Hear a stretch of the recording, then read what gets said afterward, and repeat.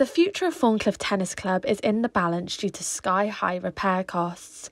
After aid has been declined by the National Lottery Fund, the 70 year old club has started a crowdfunder to raise money for new tennis courts.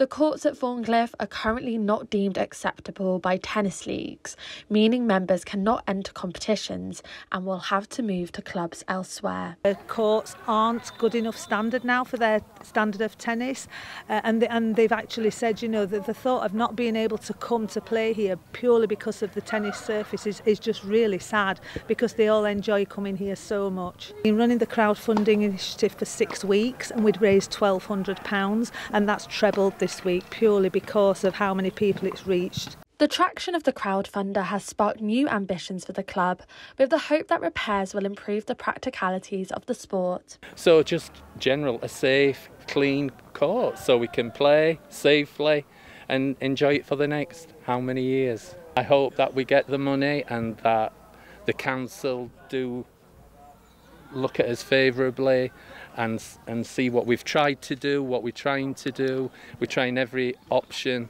crowdfunding, grants, you know. Yeah. Let's let's hope it'll work. At Thorncliffe Tennis Club, there is a passion to maintain accessibility if repair costs are met.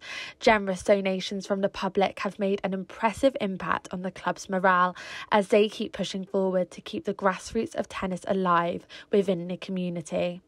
Frances Wall reporting for Just News.